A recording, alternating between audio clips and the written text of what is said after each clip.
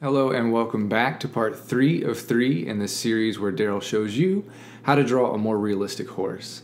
Uh, in the first video, Darrel shared some simple, quick, effective tricks to add depth and dimension, dimension to your horse drawings quickly. In the second video, he covered a small patch of the horse and showed you how to start drawing in the fur, the hair. And uh, in this third video, Darrel's going to take that same patch of fur and hair and he's going to to refine it and show you how to smooth out the coat effectively. Um, so with that, we'll go ahead and let Darrel get to it. Hey, I want to welcome you back to this third stage of this little demonstration I've been trying to share with you to just try to give you a little bit of an opportunity to not only start out right, but maybe have at least a direction on how to uh, finish with uh, some great uh, realism, uh, depth, all these different things that go together and making a great uh, drawing. And uh, it can get a little confusing when you're working with something that has hair. I think uh, some people that uh, want to draw dogs and cats will experience some of these same things. And uh, there's many of the same principles that are involved, as I've talked about. But with hair, uh, with fur, shorter fur especially, you can dictate the length of it by a few little tricks. And so let's go ahead and see what we can add to what I did in the last video and uh, and try to develop this or at least give you a, a good uh, direction again uh, to continue on developing yours as you uh, may even try this uh, horse in the video that we're making available to you.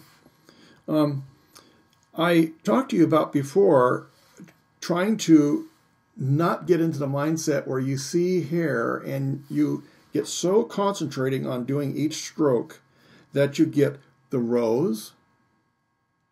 In fact, I'm just going to review a couple of those things. We don't want to have everything so uniform that it starts creating rows. In fact, I'm going to get a little closer. Just don't want to get out of the camera. So we don't want just almost perfectly spaced, uh, you know, lines on here.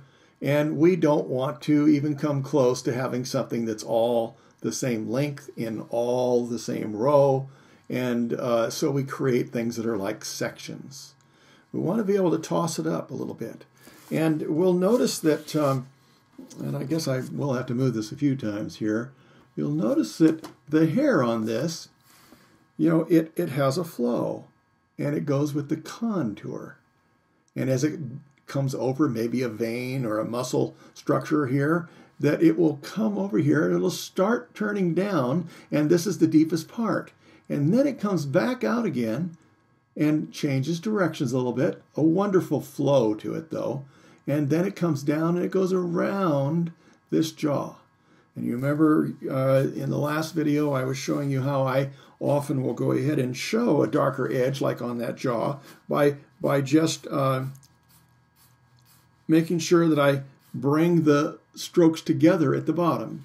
So I have that chance to, you know, when I'm doing it from the top, maybe it's uh, the top of the uh, hair on a uh, on a human's head. I I will often use this opportunity to show that it's a little darker when it goes to the back, maybe. And if you're drawing bangs, well, it'll get a little bit uh, lighter and it'll get a little bit wider and uh, and yet we don't want a line to demonstrate uh, a hair. In most cases, you're never going to have that happen unless it's some grizzled look. You might have to put a, a few dark hairs in a grizzled beard of a, of a gray beard on a guy, or maybe there's some dogs that have a few stray uh, darker hairs and a white patch. Well, yes, we will have to compensate, but overall, we don't want to have uh, these hairs representing the hair. I mean, these lines representing the hair, because what we're really doing is creating a negative, and this is one of the things that people struggle with. We are having white spaces then. If we get too carried away with having these become hairs, the white spaces start acting like they are light spaces down in between the hair. Well, that's the opposite of what we would see because everything goes, when it goes to where it's darker, gets darker. And if you can remember that rule, it is really going to help you. Because when I'm using my tapered stroke and I'm constructing maybe this uh, looping uh, on the, uh, as I do my stroke, I'm already taking advantage of the fact that I have something getting darker to where it goes to where there's less light. Now in here, if I uh, am going to reverse that negative that we've created, I'm going to take a couple of those hairs and I'm going to just create a shadow in between. Now this became the hair. And just that quick, you can change the whole dynamics.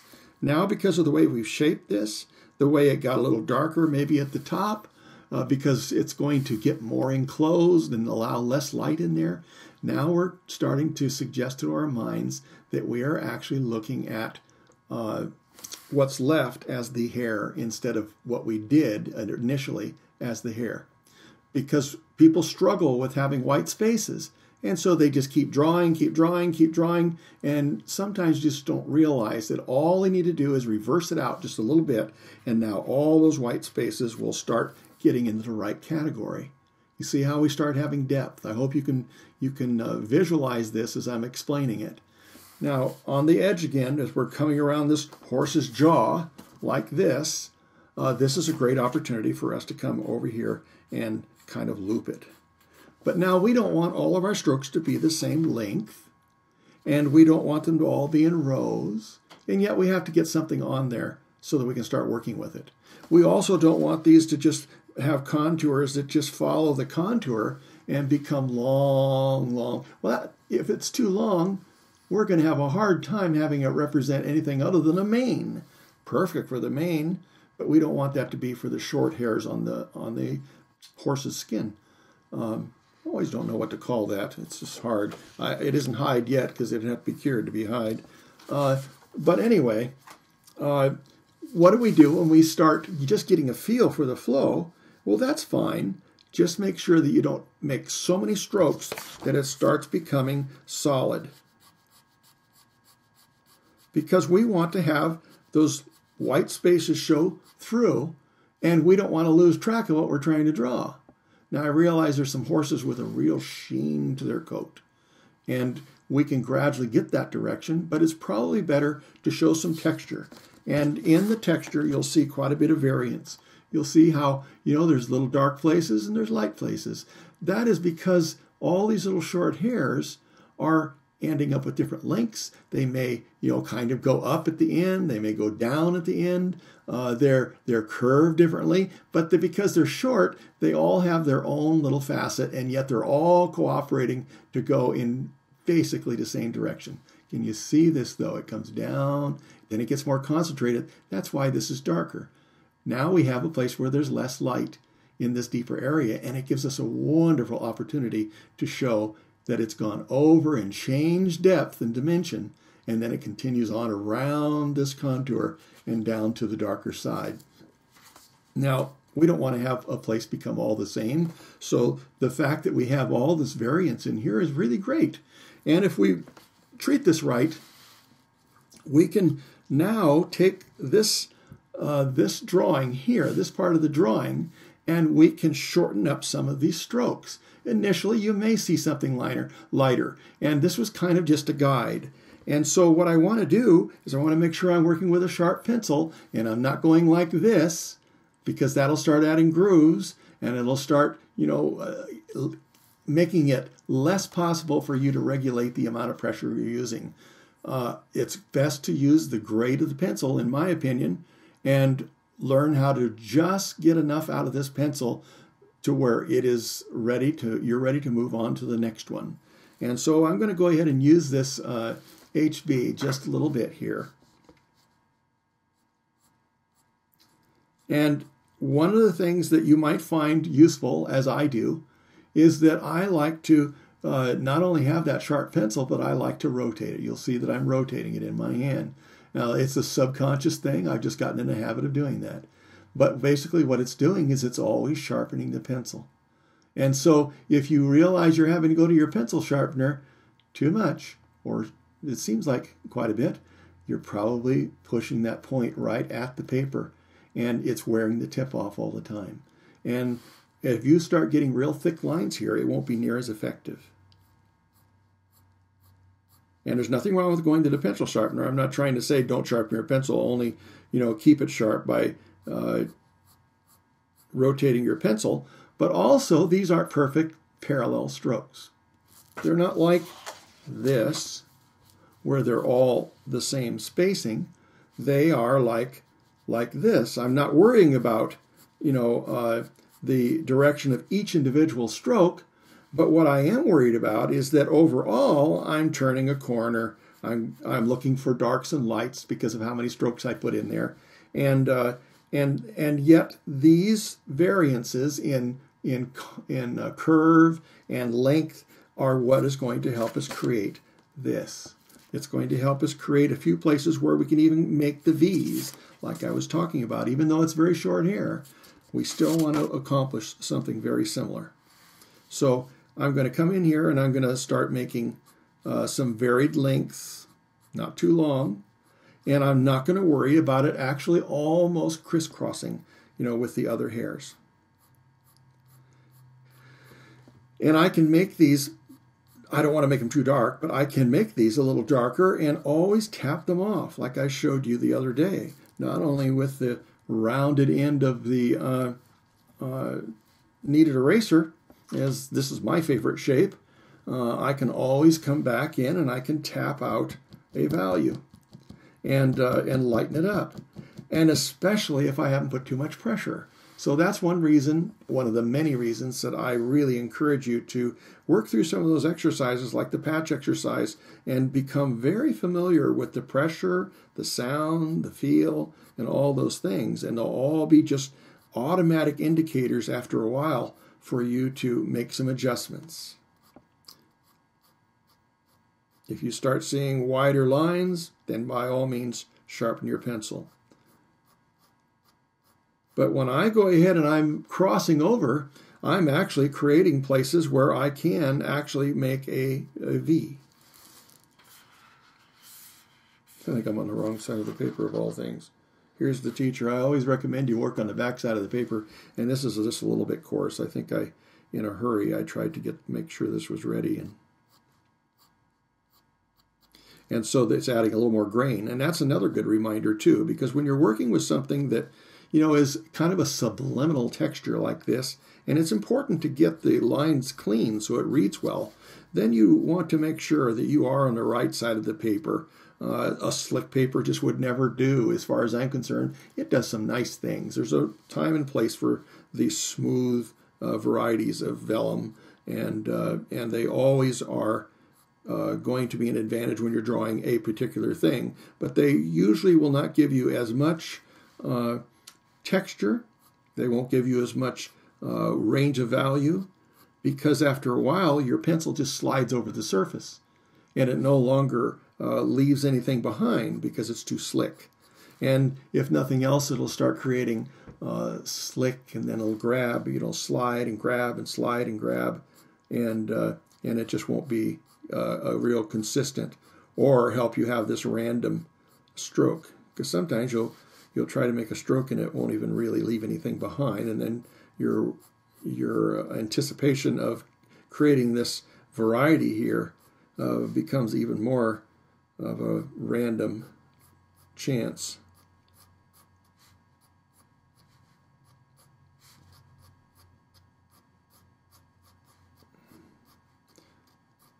Now, remember, I want to also land well on my paper, and that is the other thing that I think is really important. I mean, some people say it's just not that important. Yes, you can struggle and accomplish a lot of things. There's some world class, uh, you know, artists out there that are creating amazing things with all different kinds of methods. But I still think that this uh, five pencil method has always worked in the long run best for me, keeping so many options open. I've found it has never locked me into something I can't add to, refine, and so I always like my tapered stroke, the one with the uh, you know the pointed ends. It's a little lighter in each end, a little bit more of a of a value in the middle, and that in itself lends you know when you shorten that up, you you can practice doing them very short, and that in itself helps create that variation in the in the fur on this uh, horse that is really uh, an advantage. So, um, so we want to look for a few of these. Every once in a while, we'll maybe have a little opportunity to create something a little darker. And then we know that these are laying over the top. It's almost like shingling. It just keeps going, you know, under, and something's under that, and something's under that. But we have to have that opportunity to show that it's darkest between my fingers where there's less uh, where there's less light, right at the place where it disappears. You watch this shadow; it gets wider not only because of the contour of my hand, but because my finger's right up to it. And so uh, when we can take advantage of that basic rule, uh, we'll always be able to have our minds read that this is the part that goes under the darkest part, you know, is the part that goes under. And then this is shingled over the top.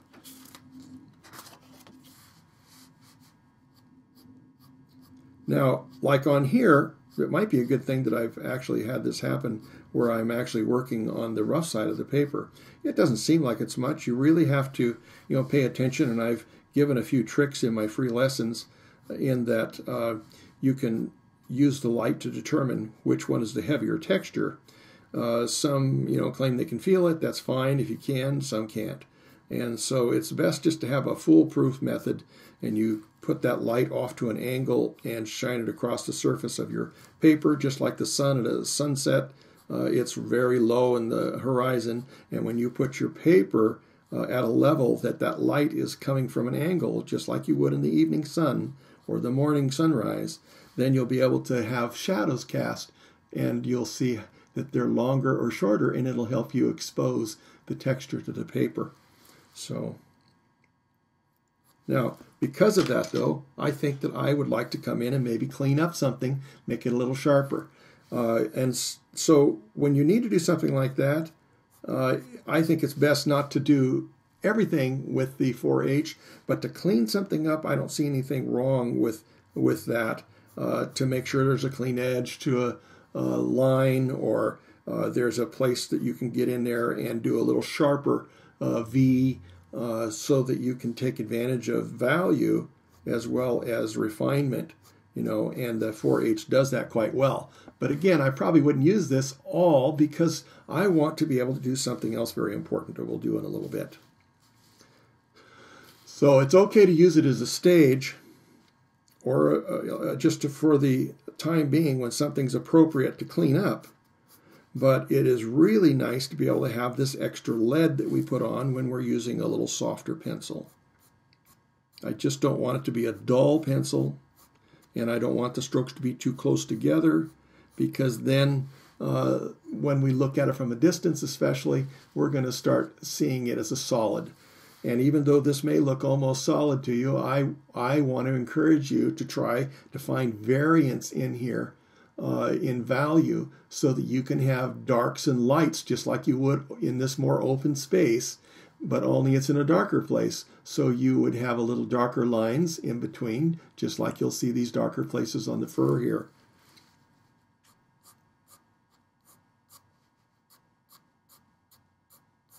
And then if you can glide on, uh, oh, I'm here, I'm drawing over there. Here, you if you can glide on with that tapered stroke, you end up by being able to create an edge that isn't like this. If we were coming up to that blaze and we just started putting uh, uh, lines, you know, creating the hair that are blunt because we landed too suddenly, instead of a tapered stroke, with when you have a tapered stroke and you land softly and you take off, uh, just like an airplane would on the runway, then you have the opportunity to incorporate that white hair into it much, much easier. And you can come back in and you can create a few of those V's that will go into that, that uh, uh, lighter hair. It's so easy to, to just dab off something. And if you see a gain uh, in a place where there's a little darker spot or or even if you've tried to refine everything and there's a little darker place, sometimes it's good to look uh, at this overall and just kind of squint your eyes if you're having a hard time seeing the variances. And you'll see where maybe there's a dot that stands out. Maybe it's just distracting. We want everything to be a complement. We don't want everything to be exactly the same. We love the variance. We just don't want somebody to something to take over. And so it's it's sometimes the fact that you'll have a number of dark areas and they will all add a natural quality to the overall area for your doing, but it won't just have one dot standing out. And so we want to be able to avoid that. But you can come right back in anytime you do that and you can just tap it off. Just like I just took off that one. I just took off that one. And if you don't take them off, if you don't take the time, then every time you go over it, it gets darker. So here's one there. Here's one there. If I felt it wasn't something I really wanted, maybe I want it to be a little different angle, maybe I want it to be a little longer, I don't want it to be so round and such a polka dot, uh, then I would come in there and just touch it off. And I can touch it off, remember, because I'm regulating the amount of pressure I'm putting on.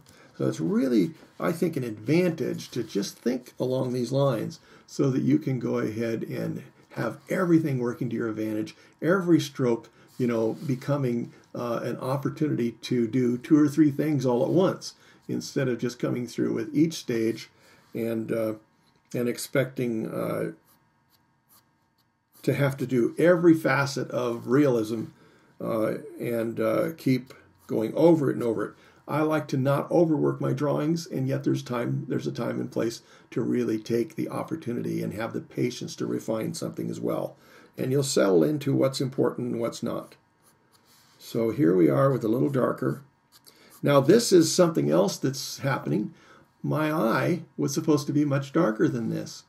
And because I'm just showing you a little demonstration, this is going to become quite a bit darker than what uh, it would normally be if I was working on this horse. Overall, I still would be going back up and I would be strengthening up my uh, darker values. I started with the eyes and a few other areas because I want them to uh, be the deepest, darkest places.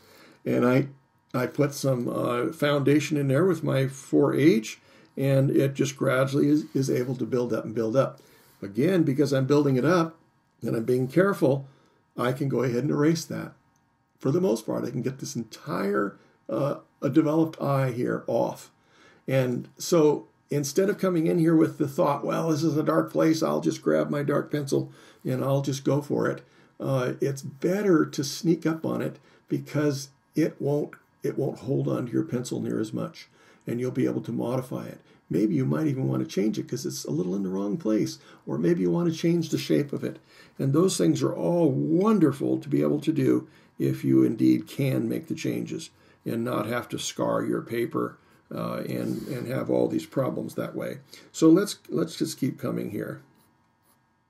I'm going to come in with a little bit of a crossing. I hope you can see that's what I'm doing.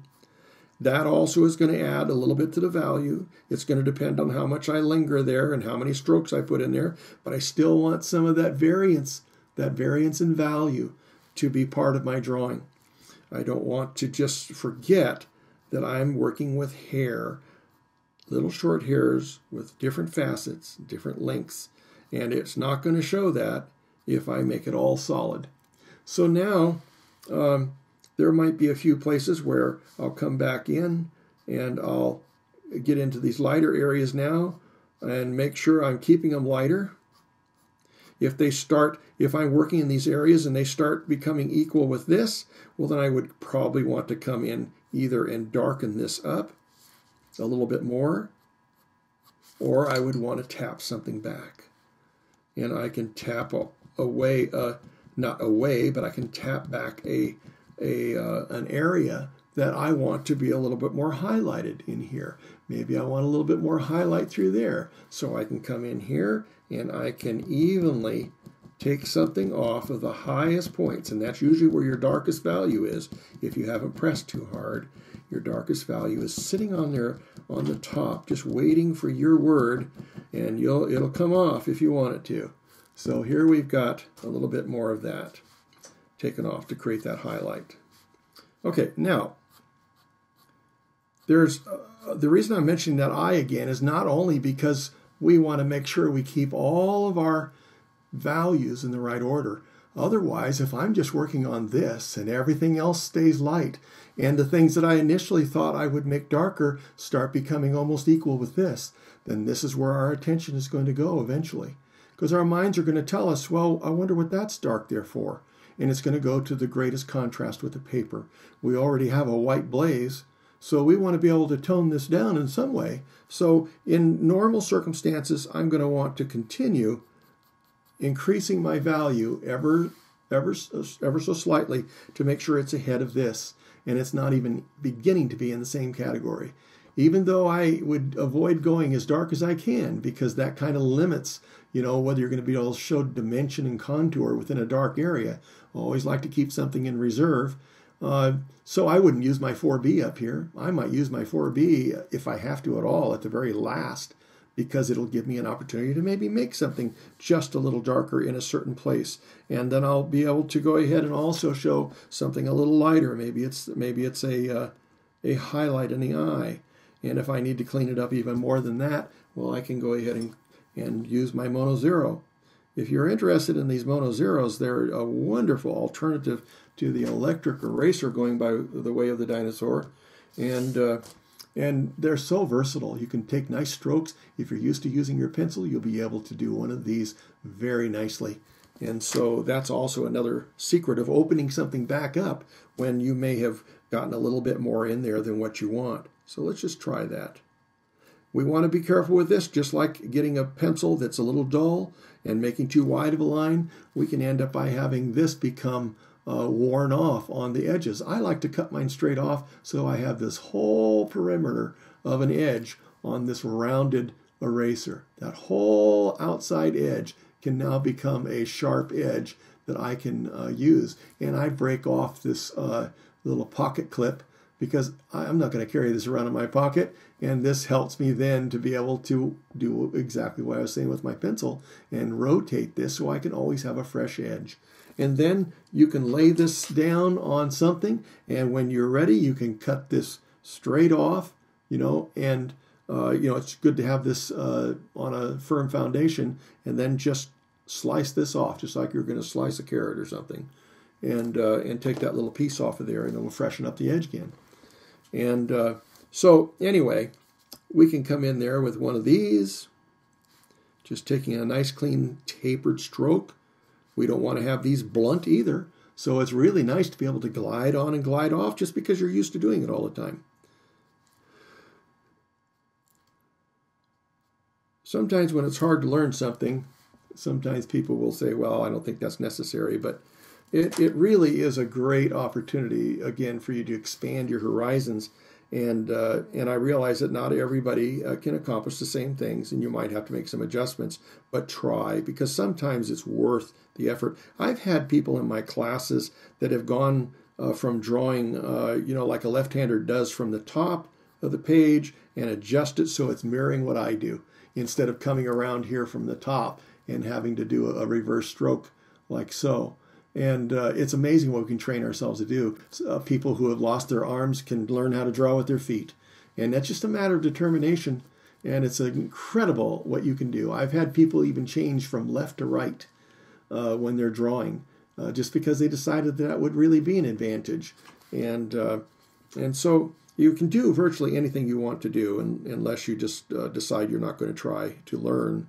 And then there, I realize there are limitations as, as well. But I'm trying to, again, open up as many opportunities as I possibly can for you. So if you keep drawing with this method, you'll realize that there's a lot of things down the line that will just become so much easier when you get some of these basic mechanics down and the principles. Now, what I'm trying to do, and I think we're getting close enough now, where I can bring in this uh, you know, drawing of burdock that I did before, and you can start seeing what I'm trying to create here. And I have a, a range of value in here.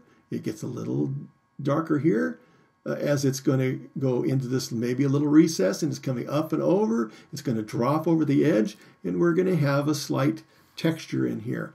Uh, the texture started getting smoothed out, you know, a little bit, but you can still see there's an influence in there of that uh, that curve and that flow around all the contours, and uh, and so uh, there's also many different variations of value and intensities, you know, of the stroke, and also a little variation in the direction.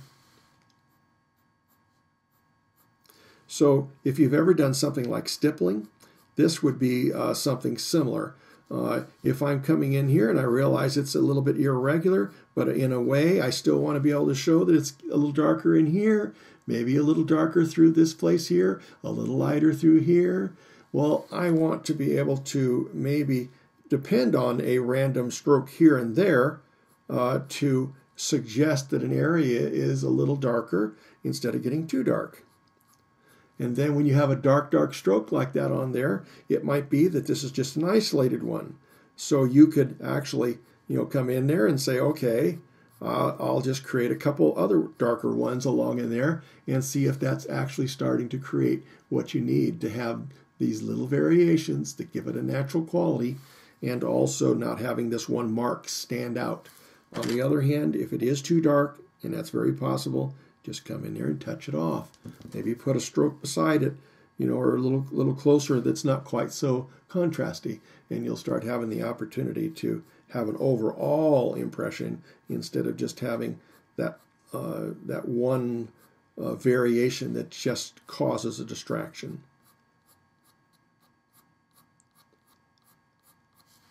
Okay. Now, what I want to be able to do to take advantage of the softer lead is to be able to come in and not have to draw in all these light areas. I'm going to try not to do that because the more I try to fill all the spaces, the more I'm going to end up again with a solid tone. I'm not going to have that wonderful texture that I want to maintain through this. And so I'm going to use my brush. It's really a nice advantage when you have one of these soft Langnickel brushes. There might be a couple other ones around that I'm not familiar with, uh, but I really like these. They're a very, very inexpensive brush, and it's camel hair, one of the softest uh, bristles you're ever going to come across. And so it doesn't, you don't have to bear down on it very hard. And it just takes some of that extra lead from the softer pencils and it distributes it into the spaces. Well, naturally, taking a little bit of the extra off of the other pencil is going to a, a little bit cut down on the harsh darker tones just a little bit. And it's going to take some of that extra and just dust in those lighter areas. And it's not going to look like it's something that is drawn in there, but now it isn't bright white because look at how many other places we're going to want to take advantage of a brighter white. We don't want a bunch of bright white streaks going through here. And then as I do that, I can come in here and now I can continue working on the places that need a little bit more value here and there, and making sure again that not every stroke is exactly the same direction. They're not too long, taking in consideration the length of the hair that would be on this horse's face versus the mane or the bangs of the mane. Or maybe maybe if it was a horse in winter, I've seen horse uh, horses with a little longer hair, and you can suggest all those things very well by paying attention to the length and where you break the the uh, you know the plane of a stroke, where you uh, come in with a, a stroke next to it or crisscross over it or whatever. But I want my strokes to be uh, you know at least subtly evident and not become solid. So this is why it's it's it's kind of relaxing. I don't have to worry about trying to have all these strokes in exactly the same length and exactly the same spacing. I can come in here and just be doing something very natural, as long as I'm paying attention that I'm not plugging it up. And plugging it up would just be filling in all the spaces so that it becomes a solid. Now, naturally, we don't have a lot of other things that are going to help us. It, it would be nice to be able to uh, eventually come in here and do a little bit of this light area.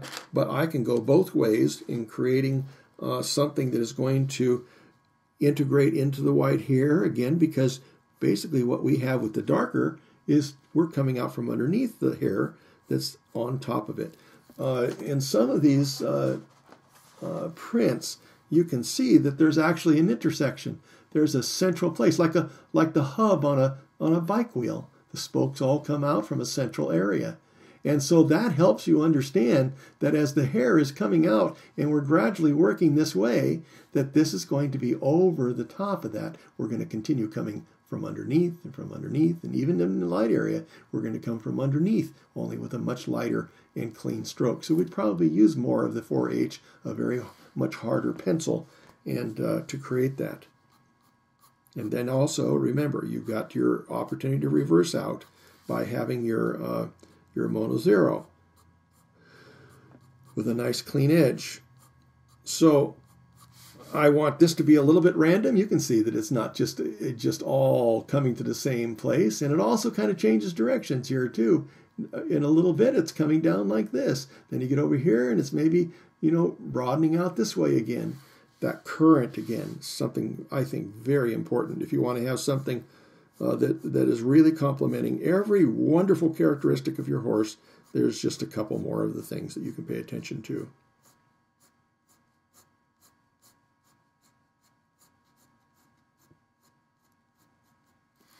So using the appropriate pencil, I see something dark through here. Still want to use my tapered stroke because I want to variegate into it and in and out of it. I can always make it more cutting edge or more pronounced by uh, coming in there and intensifying a value, but I don't want to do that initially. I don't want to have blunt strokes. I want to glide on, even though it's a little short stroke, and gradually increase that value until I have something like this. So there might be a few places that we can we can go ahead and,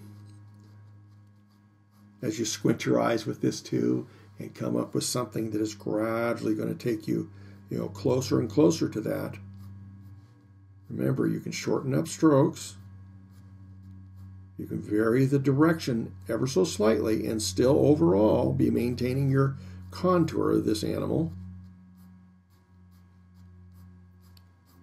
Think of how many things would be just pretty much the same as this all kinds of dogs and cats and giraffes and antelope and everybody would be, uh, you know, something that you could really take advantage of the same procedure. That was kind of chunky. Remember, too, I don't want you to forget about this. If you want to have something that's not quite so stark, so you take that pointed end of your eraser and you pinch it until it becomes a, a wider, more substantial, blade. And then you can come in here and you can take out more of a, uh, you know, a line. Still have that opportunity to touch it if you want. Just, just lift something gently off the paper, or you can take a stroke. And it's better, again, to follow a tapered style with this. Whatever you do, as much as you can use that tapered stroke, it's going to complement the removal of your graphite with your eraser, the putting on the graphite with the eraser, even the even the uh, using the brush. When I come on, I don't want to come in here and just go like this. I want to you know sweep on and sweep off. The thing that makes this nice is it has corners and it isn't very wide, and so you can continue brushing certain areas without having an overbrush into an area you don't want that cast into but you can see the value that I'm starting to get here. That's getting pretty exciting. So let's go ahead and maybe make a few more dark strokes.